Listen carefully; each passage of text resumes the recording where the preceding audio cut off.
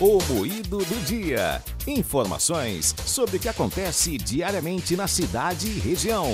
A identificação e o tratamento precoces dessa doença crônica reduzem a mortalidade por causas cardiovasculares. Mas quem vai explicar melhor esse assunto para a gente é a coordenadora do curso de enfermagem da Uninasal Caruaru, Kelly Pessoa. Bom dia, Kelly, seja bem-vinda mais uma vez ao Jornal da Cidade. Oi, bom dia. É, é sempre um prazer estar aqui e falando desse tema, né, que atinge tantas pessoas, né? A partir de 55 anos, a gente atinge em torno de 50% da população tem hipertensão arterial. Então, é um tema mais que necessário que seja sempre debatido e que, de fato, né, é um dos temas mais recorrentes em saúde pública. E Kelly, estimativas indicam que mais de 30% dos hipertensos não sabem que têm a doença. Quais os sinais que essas pessoas podem perceber em si para perceber que algo está errado, entender que está na hora de procurar um médico?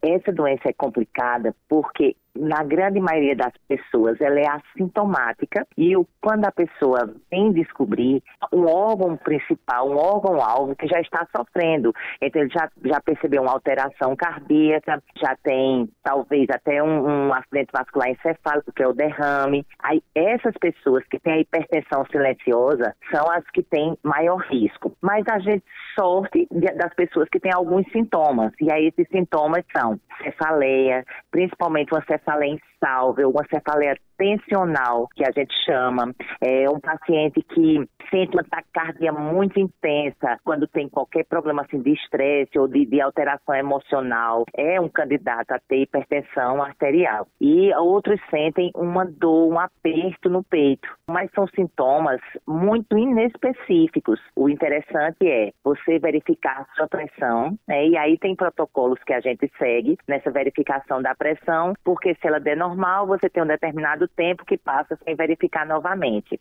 Se você tem algum parente que já tem hipertensão, então comece desde cedo a verificar os seus índices pressóricos. E aí, assim, aqueles tensiômetros digitais que se usam assim no pulso, nem sempre eles são fidedignos. É interessante que essa pressão seja verificada por um profissional em uma unidade de saúde, uma farmácia, onde tem pessoas habilitadas para fazer essa verificação. E Kelly, a senhora falou agora que no caso de pessoas que têm parentes com essa doença, é importante ter um alerta a mais, né? Porque além do estilo de vida, a genética também influencia. Explica pra gente qual o papel da genética, a importância dela em se tratando da hipertensão tanto a genética como a etnia, é, a raça da pessoa favorece muito a genética por causa das próprias fibras musculares de retorno venoso. E aí a genética é bem determinante, né? E é um papel inevitável. A gente não tem como mudar nossa genética após o nascimento. Então é um papel determinante. Se seu pai, sua mãe, os parentes de primeiro grau têm hipertensão, então você já tem que estar tá cuidando disso, verificando, mudando hábitos de vida, tentando postergar e aí eu, por sorte, evitar que você tenha a doença no futuro. E Kelly, quais os hábitos de vida que você deve ter para tentar prevenir a doença e evitar, como a senhora disse agora? E aí, não só para a hipertensão, mas todas as doenças, né, ter uma alimentação mais balanceada, evitar o consumo exagerado de gorduras, é, de muitos carboidratos, tudo que possa causar estreitamento dos seus vasos, por causa da deposição de gordura dentro das suas veias, falando linguagem mais clara. Então, praticar exercícios físicos, beber bastante água, manter esses hábitos, assim, evitar fumar, evitar bebidas alcoólicas, tudo que desses hábitos mais saudáveis que vão fazer com que mesmo você tendo a predisposição genética, você também não bote os fatores ambientais em cima disso para que você tenha a doença muito jovem, né? A gente tem crianças hipertensas, então hábitos de vida saudáveis protegem e, e retardam inúmeras doenças, entre elas a hipertensão. É, outra coisa interessante é que as pessoas acham que a pressão 12 por 8, que a gente é, considera 120 por 80 de, de, milímetros de mercúrio, consideram que essa é a pressão ideal. Essa não é a pressão ideal. Esse é o limite máximo que sua pressão pode ir para que você não esteja dentro dos pré-hipertensos ou de hipertensos.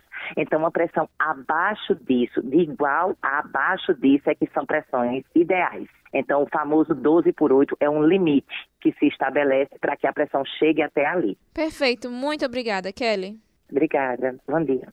Você conferiu no Moído do Dia de hoje uma entrevista com a coordenadora do curso de enfermagem da Uninasal Caruaru, Kelly Pessoa, que trouxe informações sobre a hipertensão, uma doença que mata milhares de pessoas todos os anos e que pode ser evitada com hábitos de vida saudáveis. Então, como disse a Kelly, se você tem uma predisposição genética, é importante começar a se cuidar desde cedo. Carla Nogueira, Rádio Cidade, todo mundo ouve, todo mundo vê.